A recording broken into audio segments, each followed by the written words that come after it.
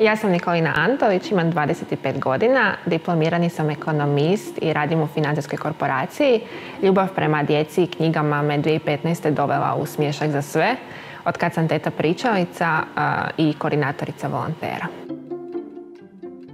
Zovem se Dragica Kipson, dolazim iz Sesveta, tamo živim. U udruzi Laverna volontiram 7 godina. Imam 23 godine, iz Koprivnice sam.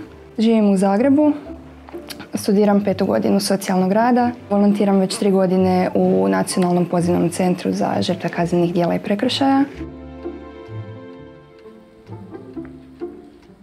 Počela sam volontirati 2015. godine, najprije kao teta pričavica. Bilo je dosta pitanja u vlastitoj glavi hoću li uopće moći. Ja sam veliki emotivac i naravno da je postojalo pitanje hoću li se uspjeti suzdržati te suze. Meni je umrla nečakinja sa 31 godinom i ostalo je troje male djece. I onda shvatiš da moraš nešto promijeniti. Ti si živ, ti si zdrav.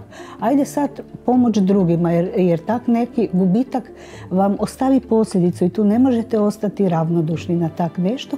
I onda sam, eto slučajno kak sam Franjevka, srela na Svetom duhu tu ekipu našu koordinatoricu i neke volontere i tu su se oni predstavili i ja sam se uključila. Zapravo sam želju za volontiranjem dobila na fakultetu, na studiju, jer sam čula za puno volonterskih mogućnosti, pa sam se tako i uključila preko Volonterskog centra Zagreb. Zbog studijskih obaveza na fakultetu raspored mi je različito dana do dana. Neki dana sam cijele dane na faksu, neki dan malo manje. E, u svoj tjedni raspored uvijek uklopim ovo volontiranje. Božić je blizu. Među svemircima uzbuđenje vlada. Umjesto da gače kradu, darivat će ih sada. Što misliš, je dobra ideja da počnu za Božić poklanjati gače? Posebnost projekta Teta Pričavice, općenito smješka za sve, što taj teret u momentu kad krenemo pričati, kad shvatimo da su klinci doista otišli u svijet bajki skupa s nama, osjećamo, odnosno osjećam samo sreću. Na je to bila snjeguljica. Nama je važan čovjek i nama je važno dostojanstvo čovjeka do njegove prirodne smrti. Ne gledamo niti na vjeru, niti na naciju, to nama nije opće važno. A ljudi vam pred kraj života vole da je netko uz njih. Kad dođe bolest u kuću, niko ovaj, vam neće doći u goste, niko vam nema vremena pomoći i onda kad dobiješ pomoć nekoga koji je voljan doći, koji ne dođe radi novaca ili radi nečega, nego samo radi toga da vam pomogne, onda vam je to pomoć zbilja ono nemjerljiva. Žao mi je što doživljavate obiteljsko nasilje i što niste imali dobra iskustva s prijavljivanjem. Pa želite li mi možda malo više o tome ispričati kako bih vam mogla dati neke informacije?